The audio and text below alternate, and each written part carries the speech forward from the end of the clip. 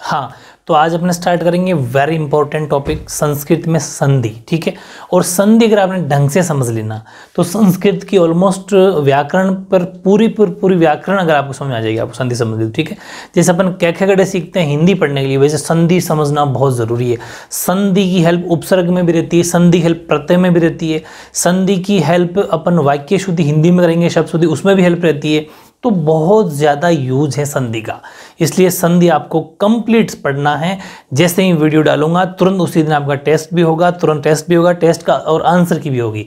तो आपको honestly check करना है, ठीक है? बहुत ही शानदार तरीके से अपने इसको स्टार्ट कर रहे हैं, ठीक है? तो आप हेडिंग लगाओ, संधि, ठीक है?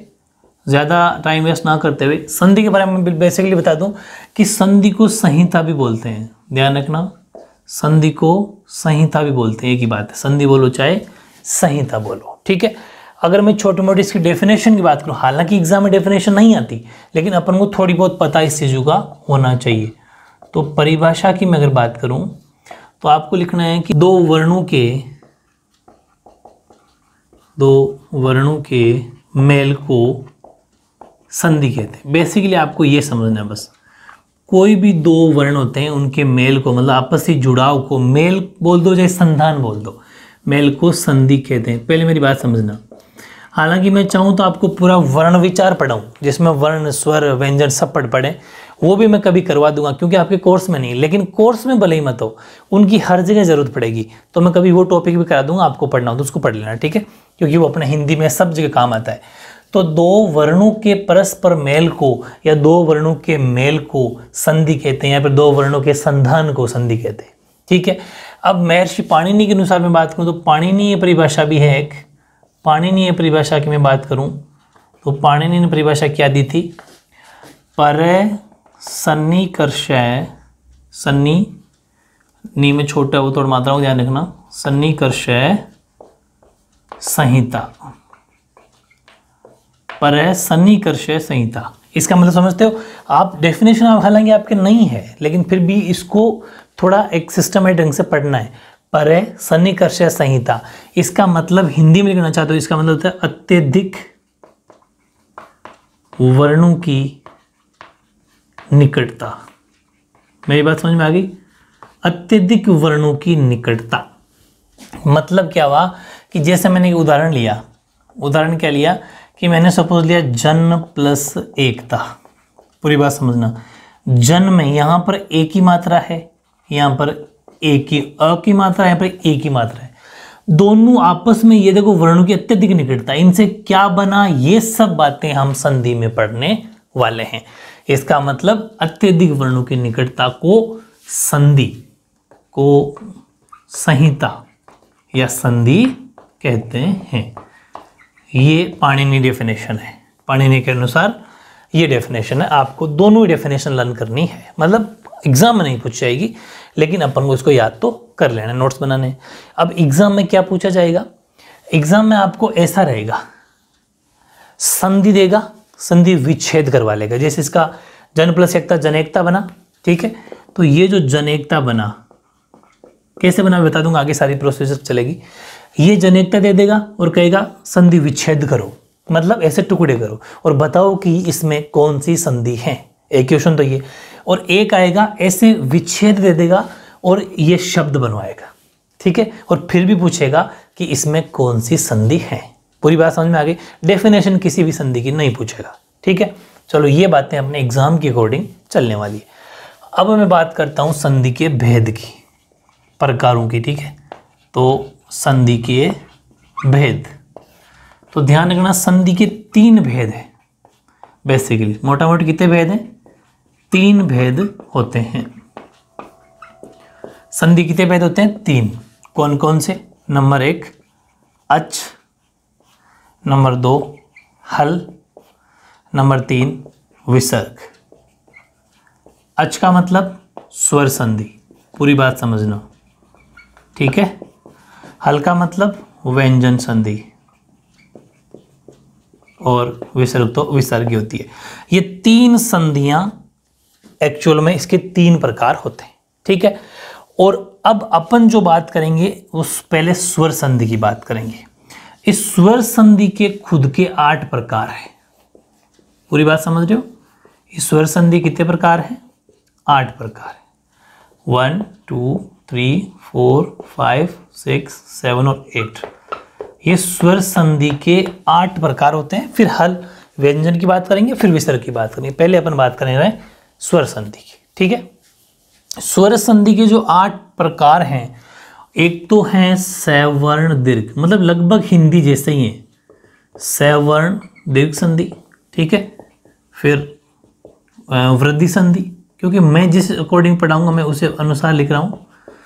नंबर दो अपन पढ़ेंगे वृद्धि संधि, नंबर तीन पढ़ेंगे गुण संधि। अच्छा वैसे तो आगे पीछे कैसे ही पढ़ो, लेकिन मैं ये क्यों पढ़ाऊँगा, इसका सिस्टम है, क्योंकि आपको इनके रूल्स याद करवा दूँगा। नियम, साथ जैसे ए आ की मात्रा ए की मात्रा ओ की मात्रा, ऐसा मिक्स लाइन वाइज चलेंगे ना तो बड़ा इजी तरीका होता है। देखो, पढ़ने के दो तरीके होते हैं स्मार्ट स्टडी और एक होता है टफ हार्ड तरीका। अपन को स्मार्ट स्टडी करनी है, समझ पा रहे हो? हाँ। तो सवर्ण संधि, सवर्ण है यहाँ पर वर्ण है ना? सवर्ण संधि, सवर्ण दीर्घ संधि, वृद्धि संधि, गुण संधि, यण संधि। फिर है अयादि संधि, अयादि अयादि संधि। ठीक है? छठी पूर्ण रूप पूर्ण रूप संधि। सातवीं पर रूप संधि। लास्ट आठवीं है प्रकृति, भाव, संधि। बस, ठीक है? बहुत ज़्यादा मुश्किल नहीं है। इजी है। रूल लिखाऊँगा फॉर्मूले लिखाऊँगा फॉर्मूले को याद करना। बड़ी इंटरेस्टिंग है, दूसरी बात। टीचर के एग्ज़ाम में बड़े बड़े कितने भी कॉम्पिटेटिव एग्ज़ाम दोगे आप, आजकल संस्कृत की ग्रामर को इंक्लूड कर दिया। तो बहुत काम आएगी। तीसरी बात, ये जो संधि हैं ये सारी की सारी संधि हिंदी में भी हेल्पफुल रहेगी। तो हिंदी में आपकी संधि है नहीं, क्योंकि कोर्स में नहीं है तो ये चीज़ें काम आ जाएगी। मेरी बात समझ पा रहे हो? शब्द शुद्धि, वाक्य शुद्धि में बहुत काम आने वाली चीज़ें हैं। और उपसर्ग प्रत्यय में भी काम आने वाली चीज़ें क्योंकि जब आपको शब्द को तोड़ना आ गया तो पता चल जाएगा ये उपसर्ग है, ये प्रत्यय कौन सी उपसर्ग, कौन सी प्रत्यय पता चल रहे हो ना, कोई शब्द को तोड़ेंगे जब काम आएगी। ठीक है? तो ये स्ट्रक्चर आपको ऐसा बनाना है। नंबर एक पहले तो यहाँ तक लिखने के बाद में फिर नंबर एक हेडिंग लगानी है। फ़र्स्ट ऐसे वाला, रोमन वाला ये नंबर लिख लेना एक, और फिर लिखना अच स्वर संधि, ठीक है? और उसके फिर आठ प्रकार लिख लेना, ठीक है? यहाँ नंबर एक आ जाएगा अच या स्वर संधि, ठीक है? और ये स्वर संधि फिर नीचे टाइप आ जाएँगे। ये आपको हेडिंग लगानी है। अब एक एक एक एक संधि उठाएँगे, और फिर उसको अपन उसके रूल नियम पढ़ते हुए एग्ज़ाम्पल पढ़ते हुए चलेंगे, ठीक है? ओके हाँ तो अब नंबर एक लगाओ, सवर्ण दीर्घ संधि। पूरी बात समझना? सवर्ण दीर्घ संधि। हालाँकि आप दीर्घ संधि बोल सकते हो, लेकिन पूरा नाम संस्कृत में सवर्ण दीर्घ संधि होता है। ये पढ़ते हैं अपन। और इस, ये जो सवर्ण दीर्घ संधि हैं, इसके चार फॉर्मूले आपको याद करने ठीक है? डिवाइडेशन कर देता हूँ, एक फॉर्मूला यहाँ आ जाएगा, ठीक है? दो, और दो आ जाएँगे इधर, ठीक है? ये चार फॉर्मूले अपन को पढ़ने हैं। चार कौन कौन से फॉर्मूले होंगे? कि ए प्लस आ, ठीक है? या फिर ऐसा लिखो, इसको अच्छे से सारी बातें इसी में इंक्लूड हो जाएगी। ए हो चाहे आ हो, और उसके प्लस में ए हो या धन में ए आ हो, हमेशा आ ही बनेगा। अभी सब समझ में आएगी। फिर मैं बात करूँ, ई छोटा हो चाहे ई बड़ा हो। ई छोटा हो चाहे ई बड़ा हो, हमेशा बड़ा ई होगा। दीर्घ का नाम से ही पता चल रहा है दीर्घ का मतलब बड़ा। ठीक है? वैसे ही मैं बात करूँ छोटा, ऊ ऊ हो, चाहे बड़ा ऊ हो, छोटा ऊ हो, चाहे बड़ा ऊ हो, हमेशा बड़ा ऊ ही होगा। ठीक है? और लास्ट रहता है री।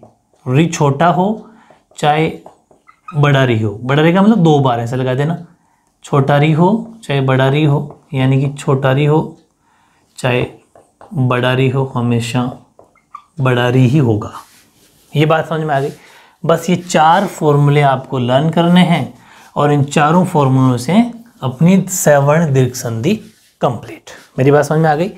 यानी कि अब इससे क्या होता है? अब इसको आपको बुक में हो सकता है ये बहुत ज़्यादा खुला मिले। इसका मतलब ये है, चाहे ए हो और इधर भी ए हो। आ हो, चाहे इधर ए हो। वैसे ही आ हो समझ रहा ना? इधर वापस ए पे आता हूँ मैं। क्रॉस जैसे मल्टीप्लाई करते हैं ना वैसे। ए हो और ए हो तो भी आ होगा। आ हो और ए हो तो भी आ होगा। फिर ए हो अब आप आ जाओ चाहे, इधर, ए हो, आ हो, या फिर आ आ हो, दोनों तो भी आए होगा। मेरी बात समझ में आ गई? या फिर इधर ए हो और इधर आ हो तो भी आए होगा। ये है मेरा मतलब कहने का। इसको, इससे इसको इससे इसको इससे इसको, इससे कुछ भी हो, होना बड़ा आई है। मेरी बात समझ में आ गई? वैसे ही छोटा ही छोटा ही तो भी बड़ाई बड़ा ही छोटा ही तो भी बढ़ाई फिर छोटा ही बढ़ाई तो भी बड़ाई बड़ाई बड़ाई तो भी बढ़ाई तो ये कुछ बातें हैं। आपको ऐसे इन फॉर्मूलों को समझना है। मेरी बात समझ में आ गई? अब इन चारों पे एक एक एक एक चारों पे चार पाँच चार पाँच अपन एग्ज़ाम्पल लेके चलेंगे, ठीक है? चलो फिर अब अपन एक एक एग्ज़ाम्पल लेते हैं। देखो, सबसे पहले अपन लेते हैं ए आ का। सुना होगा एग्ज़ाम्पल होगा और एक बात ध्यान रखना, जितने मैं एग्ज़ाम्पल लिखा रहा हूँ ना, वैसे ये very important exam selected example है। इन्हीं को पढ़ लेना बस, ठीक है? तो पहला एग्ज़ाम्पल है विद्या प्लस आले, ठीक है? तो देखो, मैं पूरी बात समझाता हूँ। विद्या में किसकी मात्रा है? आ की। पूरी बात समझना। और आले में किसकी मात्रा है? आ की। मतलब यहाँ पर धन से पहले, ये प्लस का मतलब धन। इस प्लस से पहले हमें मात्राएँ चेक करनी है कि वो इनमें से है क्या। मेरी बात समझ रहे हो? जैसे यहाँ पर आ है, यहाँ पर भी आ है। तो आ और आ मिलके क्या हो जाएगा? आय हो जाएगा। तो विद्यालय। पूरी बात समझ में आ गई? ये जो मात्रा इसमें समाहित हो जाएगी, यानी आ और आ मिलके आय रहेगा लेकिन एक चीज़ का ध्यान रखना, ये जितने भी मात्राएँ हैं, ये मात्राएँ कभी भी संधि में नहीं लगती। ये सिर्फ़ संधि विच्छेद में लगती है। जैसे ये विच्छेद कर रहे हैं अपन, इसमें मात्रा थी, लेकिन यहाँ मात्रा नहीं लगे, लगेगी। मात्रा इस शब्द में इंक्लूड हो जाएगी, वर्ण में इंक्लूड हो जाएगी। यानी कि जैसे विद्या तो लय वो आ की मात्रा किसमें समाहित होगी? इसमें। मात्राएँ कभी भी शब्द में नहीं आएगी। ये बात समझ में आ गई? ओके। नेक्स्ट एग्ज़ाम्पल लेता हूँ अच्छा ये चाहो तो आप लिख सकते हो। चलो, मैंने क्या किया था? ये आ और ये आ। दोनों मिलके आ। कहीं समझने के लिए एग्ज़ाम में लिख के आने की ज़रूरत नहीं है। इसको एग्ज़ाम में तो वैसे भी ऑप्शन आएगा आपके। अब ऑप्शन सिस्टम हो गया। ठीक है? तो ये आ और ये आ हो गया। ठीक है? अब मैं बात करूँ। रत्न प्लस आकार। या रत्नाकर होता है तो रत्न प्लस आकर भी होता है। रत्न प्लस आकर। अब देखो, यहाँ पर ए और यहाँ पर आ है। भाई, रत्न नाम में कौन लास्ट वाला अक्षर में देखना है। किसकी मात्रा है? ए और यहाँ पर है आ तो ए और आ मिलके क्या बनेगा? आई बनेगा। यानी कि रत्न अच्छा आले में अगर ये है हलंत, क्या नाम बोलते हैं इसको? विसर्ग तो विसर्ग लगानी है। तो रत्न और ये आ की मात्रा ना में लग जाएगी। पूरी बात समझना? भाई, जैसे ये न है, न में बन गया आ तो ये बन गया ना। पूरी बात समझ में आ गई? तो ये आ की मात्रा इसमें समाहित हो गई। तो ये हो गया ना और कर है रत्ना कर है। ठीक है? इजी रत्नाकर हो गया, विद्यालय हो गया और एक एग्ज़ाम्पल और ले लो, यथा प्लस अर्थ। यथार्थ ले लो, ठीक है? यथार्थ में लूँगा तो यहाँ पर आ की मात्रा है, यहाँ ए की मात्रा एग्ज़ाम्पल तो ढेरों है वैसे, लेकिन दो तीन दो तीन एग्ज़ाम्पल हम लेके चलेंगे। तो आ बन गया तो ये हो गया यथार्थ है। यथार्थ, ये थे ये ध्यान रखना, क्योंकि जो ये एक ही मात्रा आ में समाहित होगी तो होना तो आई है।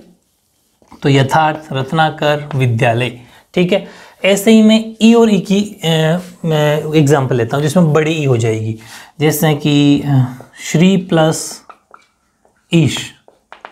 श्री प्लस ईश है ईश है।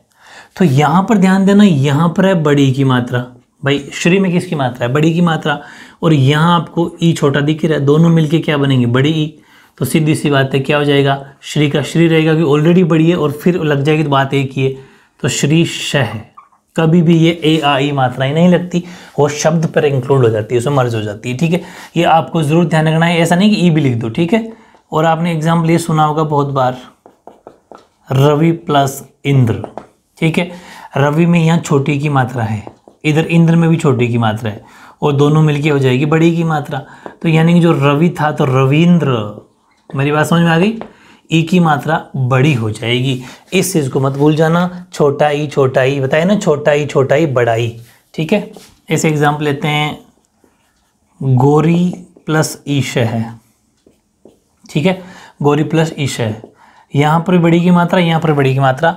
तो ये हो जाएगा गोरी शह क्योंकि बड़ी की मात्रा ऑलरेडी है, इसमें इंक्लूड हो गई मर्ज हो गई। तो ये गोरी शह यानी कि यहाँ पर भी बड़ी की मात्रा, यहाँ पर भी बड़ी की मात्रा, मिलके बड़ी की मात्रा। ईजी है.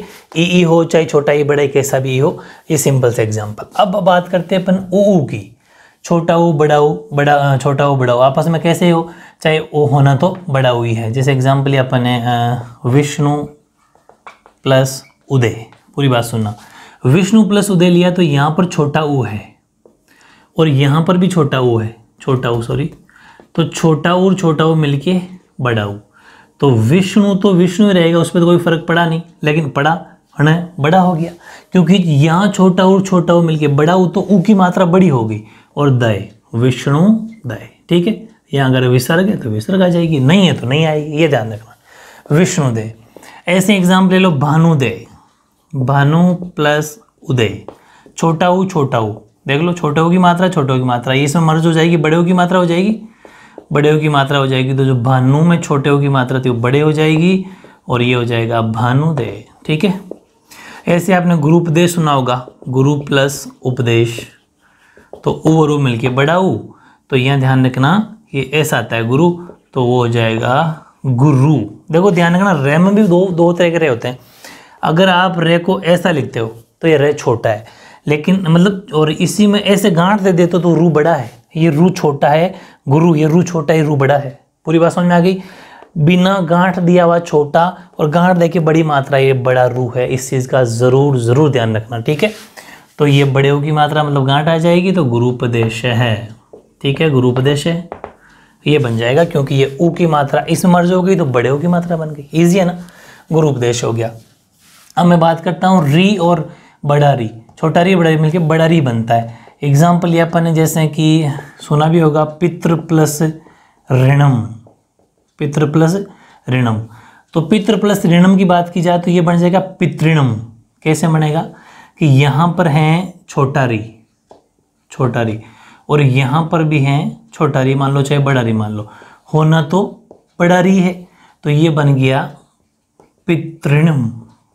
ये ध्यान रखना ये जो री की मात्रा थी मैंने कहा था मात्राएँ कोई भी नहीं आएगी जब शब्द लिखेंगे।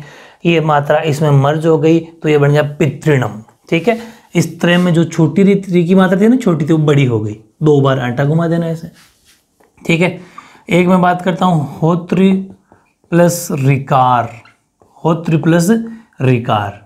तो यहाँ पर री यहाँ पर भी री और री और री मिलके बड़ा री तो होत्री ऐसे घुमा देना दो बार होत्रिकार ठीक है?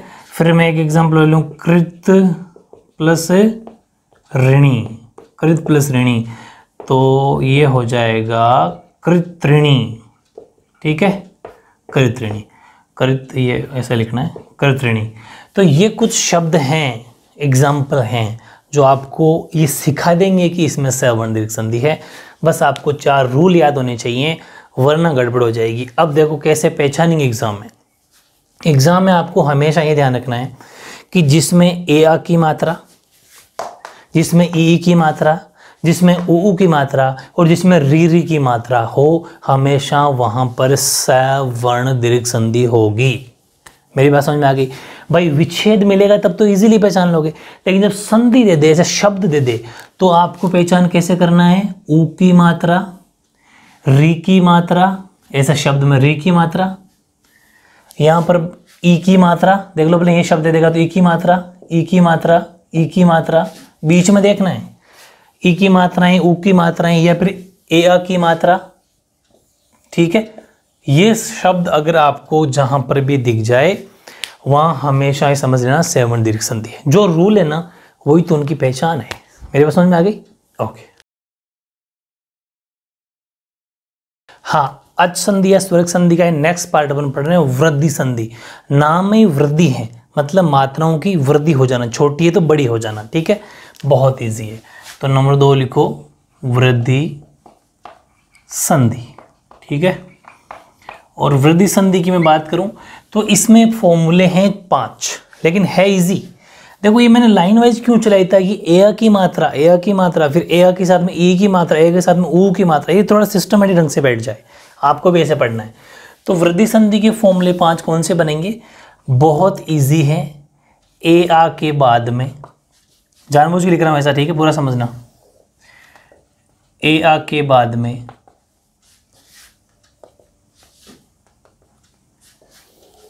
फिर ए आ के बाद में। क्या है? बताता हूँ। क्या कहना चाह रहा हूँ मैं? ठीक है? वन टू थ्री तो फिर ए आ के बाद में। और लास्ट फिर ए आ के बाद में। अब बात सुनो। ये मैंने लिखने का मतलब आपको याद इजीली हो जाएगा। इसका मतलब ये कि हर कोई ए आ के बाद में ही है। ए आ के बाद में ए या के बाद में ए या के बाद में ए या के बाद में। ठीक है? तो ए या आ के बाद में अगर छोटा ए है तो आई हो जाएगा। होता ना? ए आई इसका मतलब एक मात्रा, इसका मतलब दो मात्रा। बड़ा कन्फ्यूज़न है मेरी बात सुनना। जैसे मेरी बात सुनना, मैं इसका एग्ज़ाम्पल अगर लूँगा तो आपको सारी डाउट क्लियर हो जाएँगे। मैंने कहा, जन प्लस एकता, जो एग्ज़ाम्पल मैंने लिया था मेरी बात सुनना। यहाँ पर क्या है? न में एक ही मात्रा। अ की मात्रा, इसमें ए की मात्रा है तो अ है, ये ए है। तो अ और ए मिलके, ए और ए मिलके बड़ा मतलब आई हो जाता है। इसका मतलब इन दोनों से बन गया आई। ध्यान रखना, आई का मतलब दो मात्राएँ। कैसे कि ये आई बना तो जो जन था, इस न पर दो मात्रा लग जाएगी जनेकता पूरी बात समझ पा रहे हो? आई की मात्रा न पर लग जाएगी ये मैंने कहा था कभी आता नहीं है। ये हो जाएगा मर्ज किसमें? न में। ये जितनी भी मात्राएँ किसी भी शब्द में नहीं आएगी। ये बात डाउट क्लियर है ना? तो ध्यान रखना, आई का मतलब दो मात्रा। ठीक है? फिर ए के बाद में ओ हो तो औ हो जाता है। औ मतलब वृद्धि। वृद्धि हो जाता है। ओ से औ दो मात्राएँ लग जाती है। फिर आपके दिमाग में आ रही यहाँ पर छोटा ए लिया था। अगर आई आ जाए तो यहाँ पर ए तो भी आई होगा। बड़े का तो वैसे ही बड़ा ही रहना है। फिर यहाँ पर क्या आ जाए? अगर आओ आ जाए तो क्योंकि यहाँ अगर ओ है तो तो भी आओ ही रहना है। ओ आओ अंग है, याद है? और ए के बाद में री आ जाए, चाहे वो री छोटा हो, चाहे री बड़ा हो। अब यहाँ ध्यान रखना ए के बाद में री छोटा है बड़ा तो वो हो जाता है आर ये वेरी इंपॉर्टेंट है। क्या हो जाता है? आर ये तो आओ ये आई, ये भी आओ ये आई। ये आपको चार, पाँच फॉर्मूले याद करने हैं। मेरे हिसाब से मुश्किल कुछ भी नहीं है। मेरी बात समझ में आ गई? अब इन पे सब में दो तीन दो तीन एग्ज़ाम्पल लेते हैं, ठीक है? जैसे एक एग्ज़ाम्पल इस पर ले चुके, जनेकता वाला। अब एक एग्ज़ाम्पल लेता हूँ, तथा प्लस एव तथा प्लस एव। यहाँ पर किसकी मात्रा है? आ की। इसमें किसकी? ए की। तो क्या बन गया? तथेव। पूरी बात समझ में आ गई क्या? आ की मात्रा, ए की मात्रा तो बन गया क्या? आई की मात्रा। क्योंकि आ हो और उसके बाद में ए हो तो भी आई हो जाता है। और आई का मतलब दो मात्राएँ, फिर समझा दूँ। इस एक का मतलब एक मात्रा और आई का मतलब दो मात्रा। इस बात को समझ लेना जिसको बारह खड़ी नहीं आती। तो भाई बारह खड़ी सीखनी पड़ेगी। बारह खड़ी बोलते हैं ना, ए, आ, ई ई ऊ ए, आई, ओ अंगे के, का, की की, याद है? वो तो सीखना ही पड़ेगा।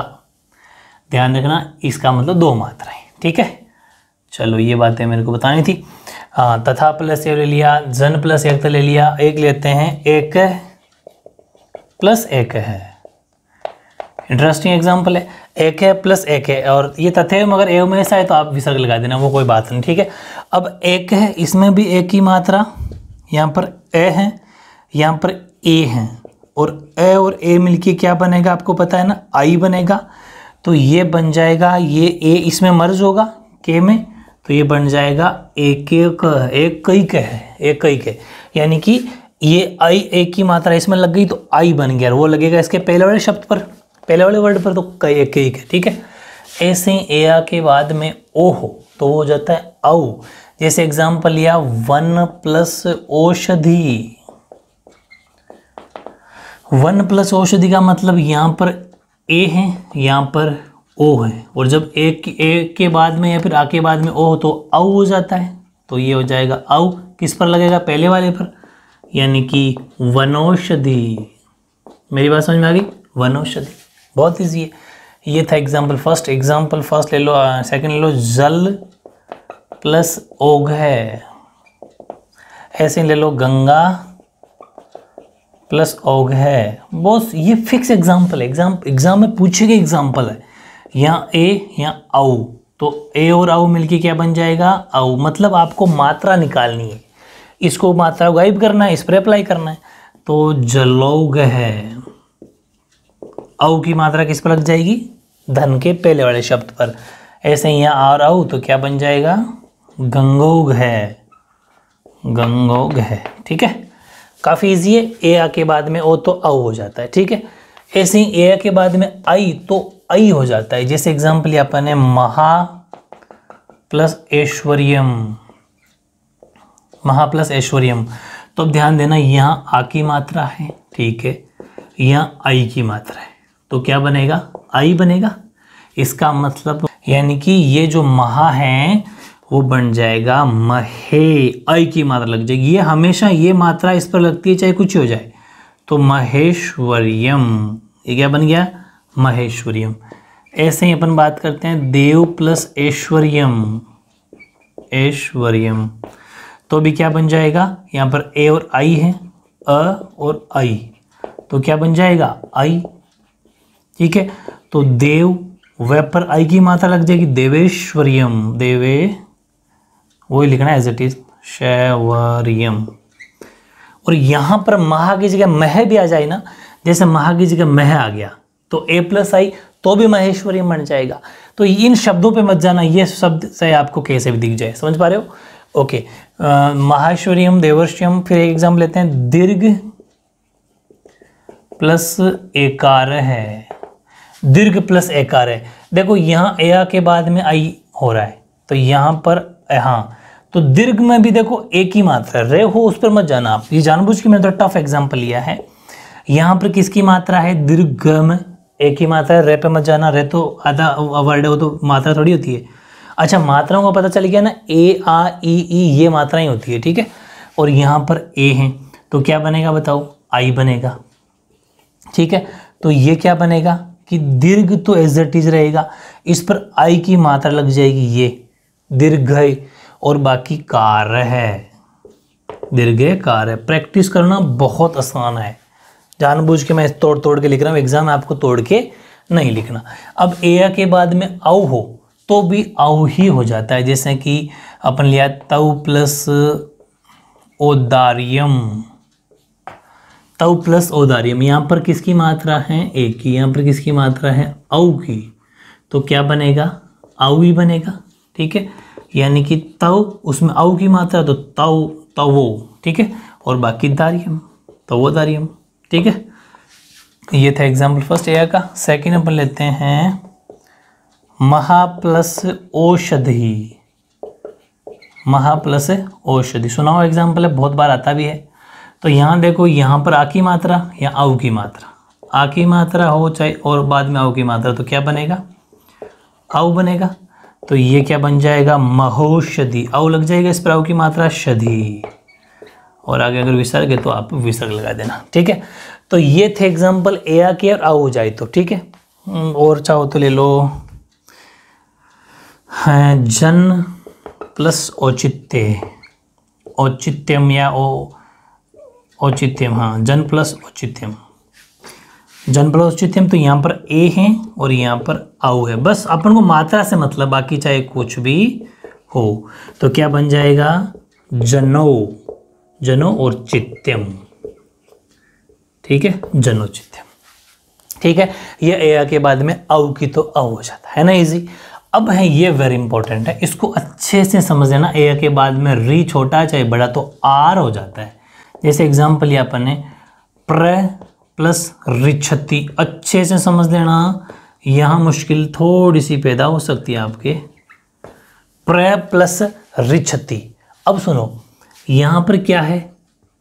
अ, यहाँ पर क्या है? री। और एक की ए हो, चाहे आ हो, उनके बाद में री हो तो क्या बन जाता है? आर। बात समझ में आ गई? ये तो है सूत्र जो आपके माइंड में घूम रहा है। ठीक है। अब अपन को इसका विच्छेद में आपको सॉरी इकट्ठा करना सिखाता हूँ कि अब यहाँ पर देखो क्या बना, प्र पहले से ही था और एम में और री मिल के आर बन गया। तो यानी कि री की जगह अब नया वर्ड कौन सा आ गया? आर। प्र प्लस आर प्लस क्षति। पूरी बात सुनना। प्र प्लस आर प्लस क्षति। जैसे यहाँ पर ये वर्ड निकल के आ रहे हैं ना ये आ और ए मिल के आई हो गया तो मात्रा लग रही थी, लेकिन यहाँ देखो, प्र प्लस आर आर कहाँ से आया? ए और री मिल के आर बन गया। समझ पा रही हो? थोड़ा अलग सा रूल है। फिर समझो कि यहाँ पर ए की मात्रा है, यहाँ पर री है। ए और री मिल के आर बन गया। इसका मतलब इस री की जगह अब क्या बन गया? आर और ये प्र हो गया आधा। आधा क्यों हुआ?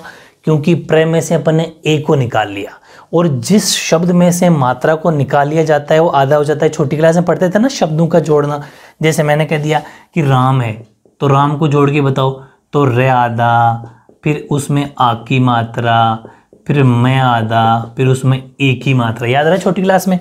जब रे में आ जुड़ा तो रा बना, आधे में मैं ए जुड़ा तो मैं बना। बन गया ना? भाई, आधे रे में आ बना तो रा बना, आधे मतलब हमेशा शब्द मात्रा से पहले आधा हो जाता है। मात्रा निकालने के बाद। तो अपन ने इस प्र को निकाला तो ये आधा हो गया क्योंकि अपन ने इसमें से ए निकाल लिया और री निकाल लिया। तो वो ए और री बन गया आर तो प्र, आधा ए निकल चुका ए और री बन के आर और क्षति। समझ गए? अब आपको पता है ये दोनों जुड़ेंगे क्योंकि ए आ जितनी भी मात्राएँ होती है वो शब्द में नहीं लिखी जाती। तो जब प्रेम में आ जुड़ा तो बन गया प्रा। पूरी बात समझ रहे हो? प्रेम में आ जुड़ा तो प्रा बन गया और रे आधा और क्षति। वैसे ये शब्द भी सही है। लेकिन इसको ढंग से लिखता, लिखा जाता है प्रार क्षति मतलब कि आधा रे है तो आधा ऊपर लग जाता है।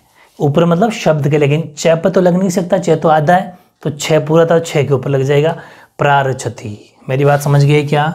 वेरी इंपॉर्टेंट एग्ज़ाम्पल है। ए के बाद में जब री आ जाए, है ना? फिर एग्ज़ाम्पल मैं और ले लेता हूँ। वसन प्लस ऋणम। पूरी बात समझ वसन प्लस ऋणम। अब यहाँ पर न है मतलब एक ही मात्रा है या री की मात्रा है। ए और री मिलके आर बन जाएगा तो ऐसे ही यहाँ निकल के आ जाएगा आर तो न आधा और आर अपने, बन गया अपने फॉर्मूले से तो ये बन गया वसन। और आज जब इसमें जो था वसना और रे रे आर है ना, वादा। आर मतलब ये रे आधा बनेगा आर में रे आधा है। तो रे आधा और रे जाएगा न के ऊपर फिर तो वसनारणम। वसनारणम। मेरी बात समझ में आ गई क्या? ऐसे एग्ज़ाम्पल आप चाहो तो और से लिख सकते हो। दस प्लस ए ना? ए के बाद ले लो आप दस प्लस ऋण हाँ। इसका एग्ज़ाम्पल मैं यहाँ लिख रहा हूँ। दस प्लस ऋण, ठीक है? अब देखो यहाँ पर एक की मात्रा है, यहाँ पर री की मात्रा है तो ये बन गया आर निकलेगा आर तो दशारण, ठीक है? तो काफ़ी इजी है। दशारण बन गया, दश प्लस ऋण। दशारण भी सही है। ठीक है, यहाँ यहाँ विसर्ग नहीं, यहाँ विसर्ग तो दशारण। ये था आपका ए से। ठीक है? तो ये वेरी वेरी इंपॉर्टेंट आपकी वृद्धि संधि भी कंप्लीट ठीक है? ठीक है? और वृद्धि संधि की पहचान बता देता हूँ आपको। पहचान बताना भूल गया। तो आपको आई और औ की मात्रा जिन शब्दों में दिखे मतलब वो वृद्धि संधि है। ये क्यों कह रहा हूँ? कि जैसे आपको शब्द दिखा, महोषधि, है ना? तो आपको ये औ की मात्रा दिख रही है। इसका मतलब आप इसको तोड़ लोगे। जहाँ मात्रा लगी हुई, वहीं से तोड़ना है। महा प्लस औषधि। मेरी बात समझ में आ गई? तो यहाँ पर आ और औ मिलके औ हो जाता है ना? तो ये कुछ बातें मुझे बतानी थी आपको। दो संधि मैंने करवाई है। क्यों? अब जितनी भी आगे संधियाँ बनेगी, उसमें टाइम नहीं लगेगा। क्योंकि स्टार्टिंग में थोड़ा समझाने में टाइम लगता है, बाकी कोई मुश्किल नहीं है। तो ये जितने भी इसके पाँच छः चार, पाँच पार्ट बनेंगे, जल्दी से अपन इसको करने वाले हैं। बस आपको संधि को साथ की साथ पढ़नी है। ये ध्यान रखना, मैं जल्दी इनके टेस्ट दूँगा आपको तुरंत ही। उन टेस्ट की प्रैक्टिस भी ऑनेस्टली करनी है, तुरंत आंसर की मिल जाएगी, ठीक है? संधि को अगर आपने अच्छी कर ली तो संस्कृत में सारे टॉपिक इजीली हो जाएँगे, ठीक है? तो वीडियो ज़्यादा बड़ा ना बने, इसलिए अपन इतना ही करेंगे, ठीक है? ओके